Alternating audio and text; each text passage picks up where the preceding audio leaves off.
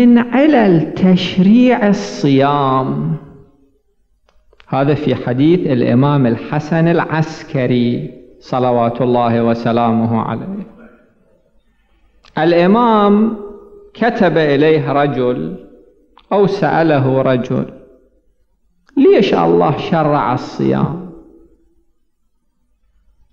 الإمام كما في هذه الرواية أجاب ليذوق الغني مس الجوع.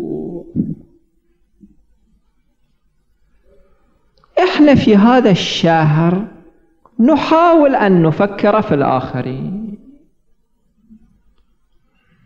الناس الذين لا مأوى لهم شايفيهم في بلاد أخرى ينامون في الشارع.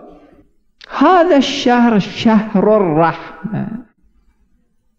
شهر الاعتناء بهؤلاء. شهر الترحم على هؤلاء. النبي صلى الله عليه وآله في هذا الحديث يقول تحننوا على أيتام الناس. يتحنن على أيتامكم. الله تعالى يدفع البلاء.